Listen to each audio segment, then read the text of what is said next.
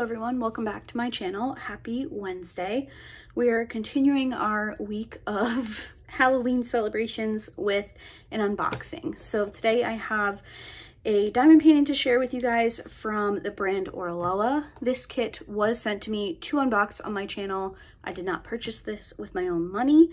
I always like to state that right at the front when I remember. Um, I do have an affiliate link and a coupon code in my description box for Oraloa if you are interested. I have completed multiple Oraloa kits at this time. Um, actually, one of my recent finishes was a kit from this shop. So if you would like to see kind of my thoughts on Oraloa kits as a whole, you can definitely check out that post review. You could also just search Oraloa on my channel. I very rarely will accept kits from companies that I've never tried before. Uh, when Oraloa reached out to me when I first started doing unboxings for them, I had already completed one or two kits from them at that point. So anyway, today we're going to be unboxing a diamond painting from Oraloa, and this is of course a cute little Halloween kit. So this is La Sorcière by the artist Vayounette. You can see we have a really cute little witch. So we're going to take a look at this one. Now, this one has been around for quite a while. I feel like this may even have been with them since, um, was that a correct sentence? I don't know if I said that correctly, but I believe that this kit has been with them since the beginning. I remember seeing this one unboxed pretty early on, uh, but when I saw it as an option to unbox for them, I was like, yes. now, unfortunately, I didn't get to work on this one this year, um, but I do believe that she will be probably towards the top of my list for Halloween kits next year, which is absolutely insane that we're already talking about 2025, but she's so cute. All right, I believe I have this one in square drills, if I'm not if I'm not mistaken, and it is a 50.8 by 70 centimeter kit. So actually a pretty nice size. I find the 50-ish by 70-ish to be very enjoyable. It's kind of just that perfect size to me. I don't know. It's it's like my Goldilocks kit, I guess. it's not too big, but it's also not too small. I did drop my toolkit. Now, I will say this is an older um, toolkit for them. I have shared the newer ones. Is this the old one or is this the new one? I feel like this is an older one. Maybe I'm wrong. We have some blue wax. Maybe I'm wrong. Maybe this is an accurate representation. Yeah, I guess it is. We have a pair of very sharp tweezers. The Oraloa tweezers are my favorite. We have some washi tape, a white tray, a purple squishy, and a multi-placer. We have our pen, a couple of stickers, this little Oraloa party one, very cute. And then we have one of their acrylic block things and then a little thank you card, I guess. Yes, thank you card. So that is the toolkit. I guess that is the newest version. I do have one from a recent kit, but it's not where I can see it right now, so I can't compare. But we have our toolkit, we have our drills. Oraloa drills do come pre-bagged. These squares look very nice. We'll take a look at that in a second. And I'm just looking to see, here we go. Our sticker sheet. So here is the image. Oh, we have a little drill hanging out there. Here's the image one more time. Again, this is Vayounette by La Sorcière. Nope, wrong way around. This is La Sorcière by Vayounette. Again, it's a 70 by 50.83 centimeter. Uh, we have 50 colors with four ABs, it looks like. Just taking a quick look at their symbols, just to make sure I don't see anything that could get confusing. Does look pretty good. Yeah, I'm not seeing anything that would be that you could like kind of confuse for each other, which is always nice. I love when companies use very, you know, like distinct symbols for similar colors. I very much enjoy that. Oh, this is so cute. Wow, this looks like a bunch of color blocking, which is amazing. I will say that I do oftentimes find that Oraloa is pretty confetti heavy, but this looks very color blocky, which is quite exciting. I'm just rolling this backwards so I can get it flat. Now Oraloa is poured glue, so you can do this. If you have an opaque cover on your diamond painting, I would do a little bit of investigating. Chances are you probably have double-sided adhesive, which is so interesting to say because you feel like a lot of companies don't do that anymore, but there are definitely some that do, especially if you're shopping on like AliExpress or Temu. Um, so do a little bit of investigation if you have an opaque cover, but generally if you see a clear cover, you're pretty good to to roll it backwards. This is absolutely adorable. And there is a ton of color blocking, which, like I mentioned, is very exciting. Now, one thing I have noticed in the past with Oraloa kits is they can tend to get these little air pockets in the covers. Now, I just want to mention to you guys that these are air pockets. There is nothing wrong with this canvas.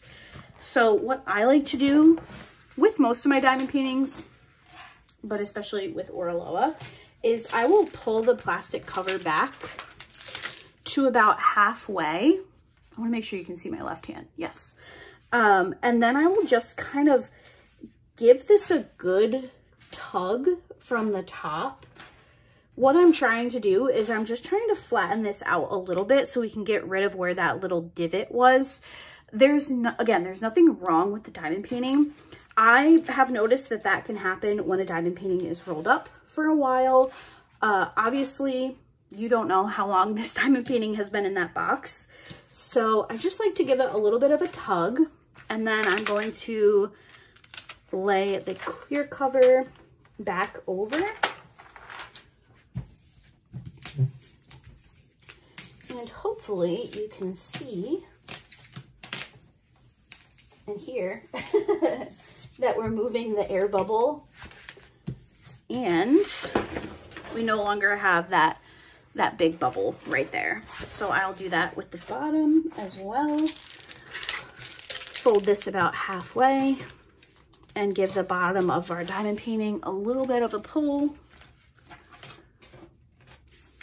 And then we'll lay the clear cover back down.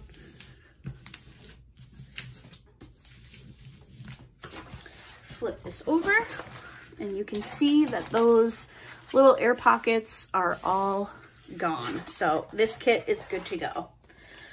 Now, let's take a look at this diamond painting. If you've never seen an Oraloa kit before, we do have the Oraloa branding at the top.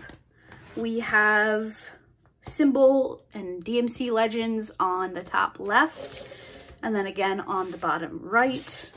On the bottom of the canvas, we have Oraloa's social medias. We have a, a, little thumbnail with the artist and the title and the kit size as well. And then let your creativity sparkle is Oraloa's little slogan. So this is so cute. She's adorable. I'm interested in her hat. Like, what is this?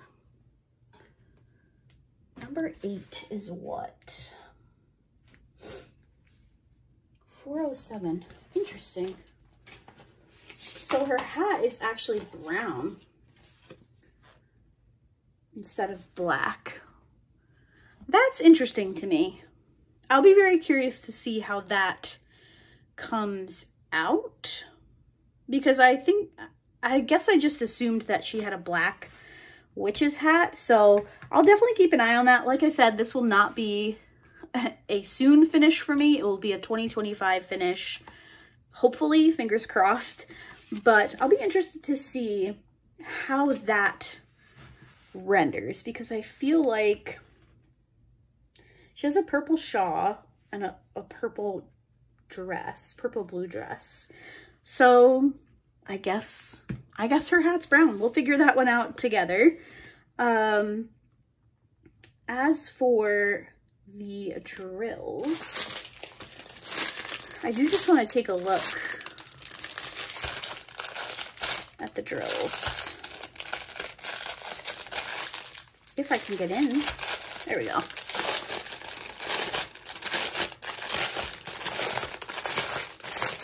We will take a look at the ABs in a second. I just want to take a little peek at some of these squares. So let me grab a tray.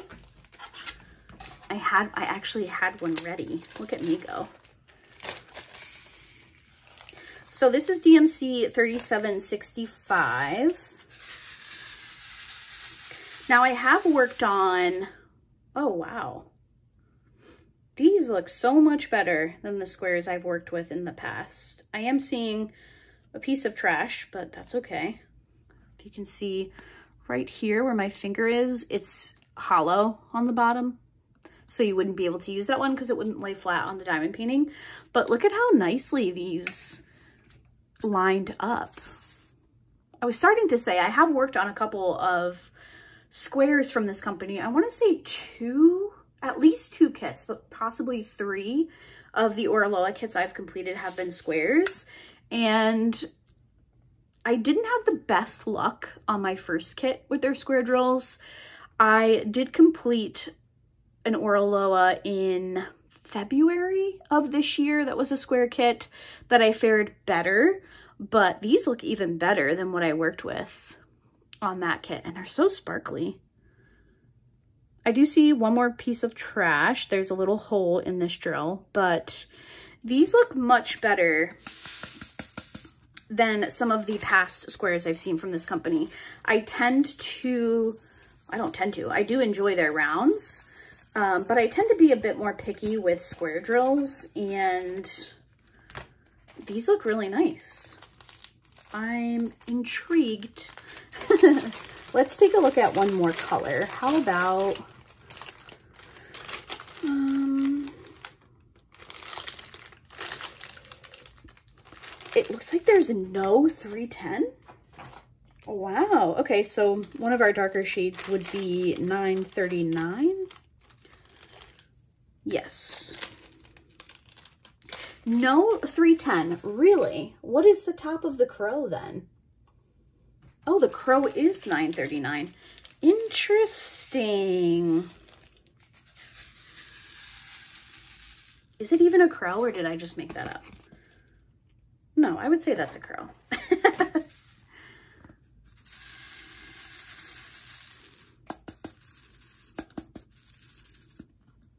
All right, those lined up pretty well also.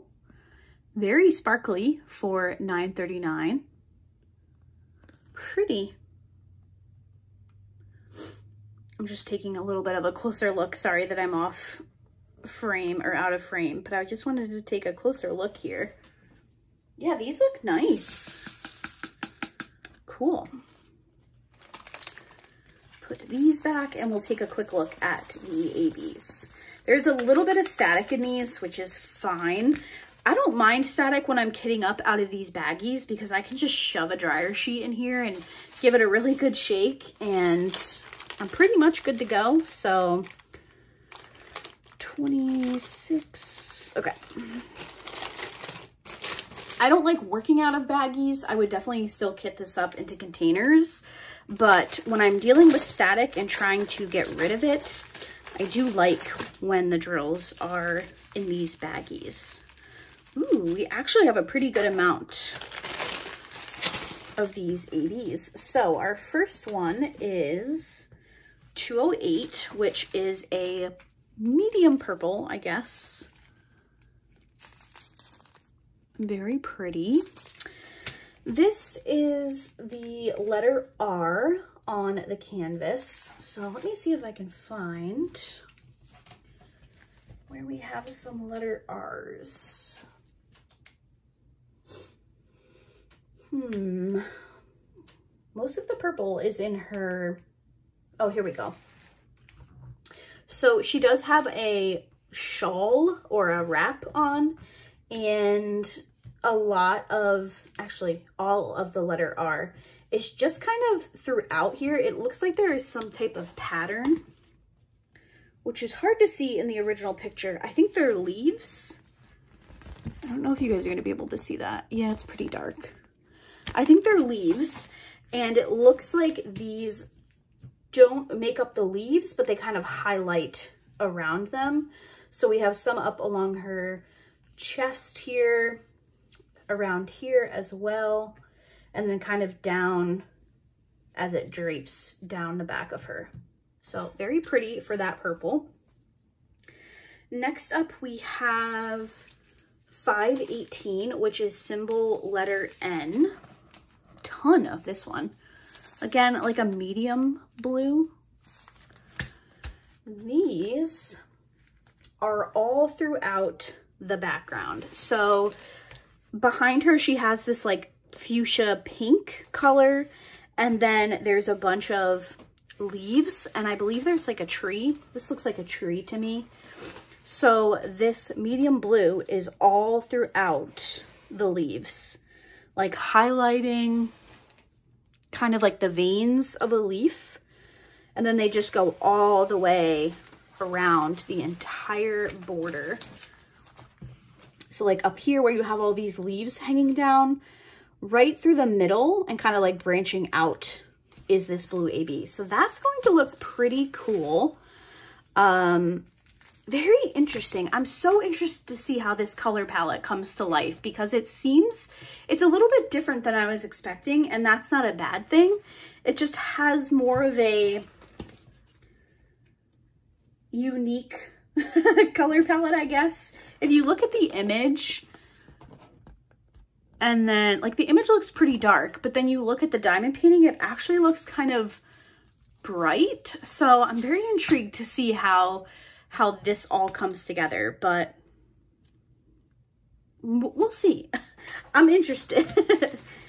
all right, next we have 550, which is letter T. Some of these did not get all the way in. This is a very dark purple. I'm trying to mess around with lighting. That is the one thing about when it changes from like spring and summer to fall and winter, I have no I have like little to no natural light by the time I get home from work. So it can be a little bit difficult to, to film, but we have a dark purple. And again, this is the letter T. I'm seeing this right here in the back of her hat. I don't quite know what that is supposed to be. I think maybe it's, uh, yeah, I don't know what that, why it's purple, if I'm being honest with you. I feel like this part is kind of like the back of the ribbon that's around her hat. So perhaps this is kind of like highlighting that. Not quite sure about that placement. Then there is some at the top of her shoulder right here. And then under her elbow, and kind of outlining this purple shawl that we talked about is where you'll find those dark purple ABs. And then our last AB is 5200. So beautiful white. And this is symbol L. And I'm seeing that all throughout the center of this orb that she's holding. Sorry for the glare. She is holding some kind of magical orb and I'm seeing that all throughout the center there. And I think that that is it for the ABs. So for ABs, in terms of anything additional that I would do to this kit, I think maybe I would give her a little AB and her lips would be kind of cute just to kind of make them look glossy.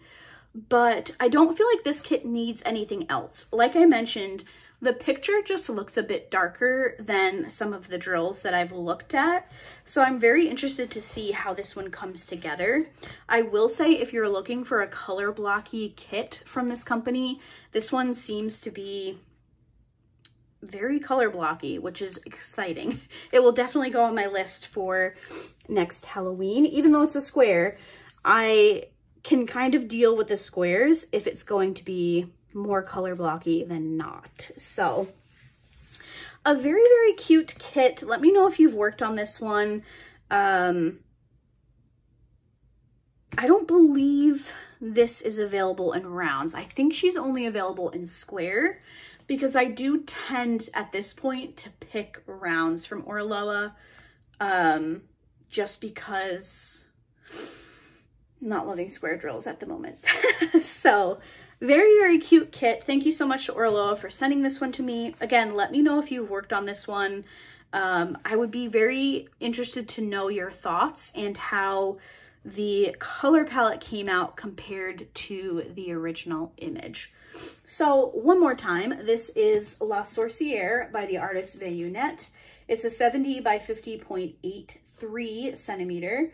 We have 50 drills, 50 drills, 50 colors with four ABs, and they are square. So again, I think this one's only available in square. But here is our image. I'll try to give you guys a bit more light. There we go. That's a bit more color accurate to the image that I see. And then a significantly brighter canvas, but we'll see. just because it's rendered, like just because the image looks brighter doesn't mean it's actually going to be. Uh, so I am intrigued. With that, that will be it for today's video. Thank you guys so much for watching. I will be back with you guys tomorrow for Halloween. We have a bit of a Halloween special, so hopefully you guys will come back and check out that video, and I will see you guys then. Bye.